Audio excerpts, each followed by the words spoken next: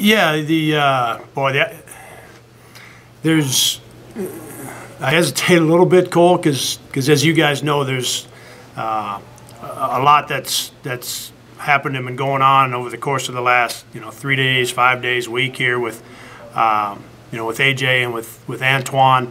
Um, and you know, thinking about how we reshuffle a little bit, and you know what we do coming into this game, and, and how we you know how we best approach it from an offensive standpoint, from a defensive standpoint, and not a lot of time to make too many you know changes. Uh, but my you know I, I, guess my mind and, and really my you know our staff guys, we you know we spend a lot more time you know talking about and, and talking with you know Antoine, AJ, um, our team. Um, so maybe back to your question, Cole. You know, just want guys to be active. You know, wanting them to attack the attack the glass. Uh, uh, things we. I'm gonna start listing off a couple things, but the things we talk about all the time. You know, defend them, make them shoot a shot that's got to go over the top of you. Uh, so we're not giving up easy baskets. You know, rebound it hard, as I mentioned. Get active to the glass. Let's push it in transition. Play the way we're going to play. Let's get five some touches. Let's let the offense work for us a little bit better than we did last week in Sioux Falls at times. Um, so really just the basic stuff, Cole, but, but wanting to see a, a good energy level, wanting to see a team that's that's pretty active. It seems like perhaps that the communication with the team, given the circumstances that have played out over the past few days, took precedent over like reorganizing the offense or some schematic things. Yeah, yeah, you'd be you'd be correct in that. Uh, you know, these are um, you know these are these are things that are you know anything to do with our players, you know, our staff, our program, um, anything to do with with those things uh, are are, are going to you know they, they just take precedence over you know over what's going on with with a single game or, or adjustments to the offense and defense and you know obviously. Um, there's a point where you've got to move those things, you know, get get through them and get past them and move those things, um, you know, to the side burner, if you will. I don't, I don't think to the back burner, but to the side burner, if you will, and and really get to okay, what are we going to do? Uh, what changes do we need to make if we've got to make some adjustments to our offense and defense, and get into practice and work on some of those changes with the roster that we have right now. Um, so that that will be coming. Um, in saying that, our top priority is still going to be AJ uh, Goanar, Tytan coming back from his his injury, um, and I uh, and Antoine. You know, those guys are. That's still going to be our top priority, um, but we also need to now spend time uh, on what we're going to do with the roster that we do have, and, and get to work on on that in practice. Thanks, Ben. Yep. Thanks, Colt. Coach as far as AJ goes, uh, how long has he been battling the hip issue? And uh, you have any other information today just on, kind of where he's at as, as, far as the decision process? Yeah, that, uh, you know, Nick, it's uh, pain showed up for the first time in the second game in Sioux Falls.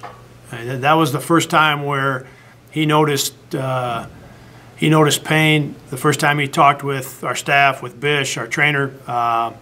So we were talking through it during the second game a little bit, obviously after that game, before the third game, um, after the third game, and then when we got back, we got to the, uh, you know, the doctor, you know, got the MRI done, um, went down and saw the doctor in Iowa City, um, and now in the process of continuing to gather more information on our end. Uh, Dr. Clark here, uh, the doctor in Iowa City, um, he's reaching out and talking to to people that he knows that have dealt with hip injuries. Um, so that's the process that's going on right now, Nick. But um, in terms of when the first time where AJ felt sharp pain or pain that, that limited him was the second game in Sioux Falls. Um, prior to that, you know, his, his hips have, you know, just generally speaking, they've always been a little bit tight.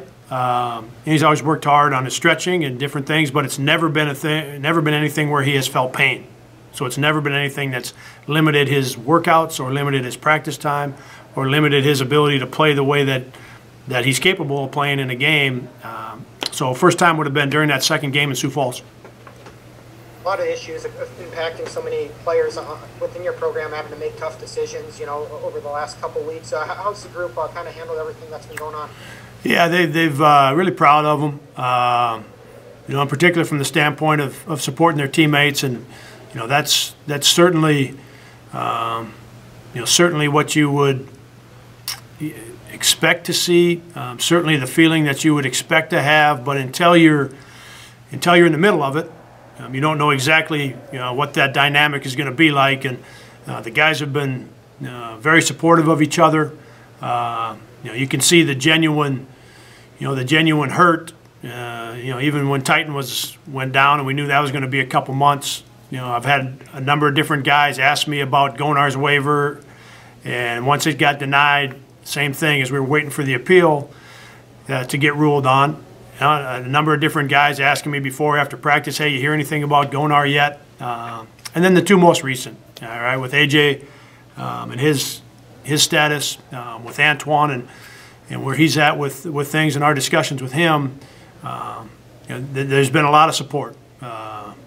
We've got a we've got a great group. Um, they're willing to lean on each other, and, and there's been a lot of support, Nick how equipped is Bowen to kind of take over more of a, a, a major role there in that backcourt now? Obviously, when you look at look at uh, AJ and, and Antoine uh, being out of the mix for, for the time being. Yeah, that's you know that all of a sudden that becomes a uh, you know he was going to be important as we saw last week. You know with AJ and Antoine, Bowen was going to be a big part of this, uh, but now you know that. Uh, um, that light shines, you know, that's going to shine a little brighter on him and, and that position. Uh, and he's, you know, I think that the good thing for us, uh, Nick and, and, guys, is uh, Bowen's uh, he's ready for it. You know, not necessarily ready for it from an experience standpoint. You know, having played a bunch of minutes at the college level and against uh, college college teams with just four games under his belt, but he's ready for it. You know, he, he loves to play.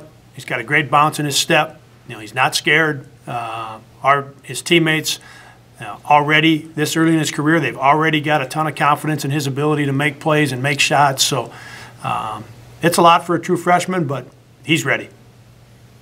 Able to see uh, Evan for the first time there today. Uh, what's what's he going to be able to provide for this team uh, now being back on the court? Yeah, that uh, you know things things have changed a lot for him, and uh, you know with Antoine and AJ, and uh, moves him into a spot where where he's you know got found himself into the rotation here tonight, and you know, he, he played pretty well tonight. Uh, you know, we haven't talked a lot about him, but he hasn't he hasn't had full practices for the last um, you know day after day after day for the last six weeks. He's been been battling some patella tendonitis, so he's been in and out of practice, and um, so not not having had a regular practice schedule and routine. Uh, Nick, he's um, he moved around good the last couple days. I thought he moved around pretty good tonight. I think the thing that we saw with Ev, he's got great footwork and he showed it. There was two passes he made tonight, uh, uh, which we see. You know, we see from him in practice.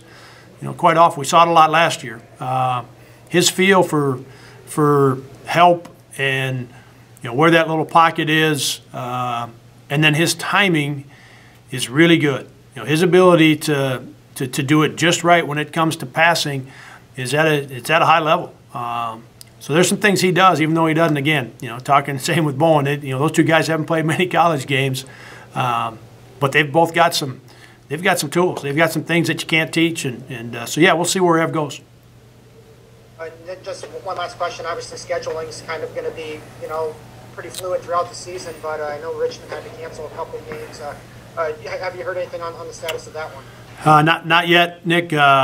Uh, I've talked with, with Chris Mooney, their head coach. Uh, he and I have known each other for a long time. Um, so we, we, talked the other night. Uh, we don't have, there hasn't been, we haven't changed the game yet. Uh, we'll be talking again uh, tomorrow to see where they're at with their COVID protocol, to see if, the, if, if that game still, you know, if that game is still going to happen. Right now, that game is on its schedule, though, Nick.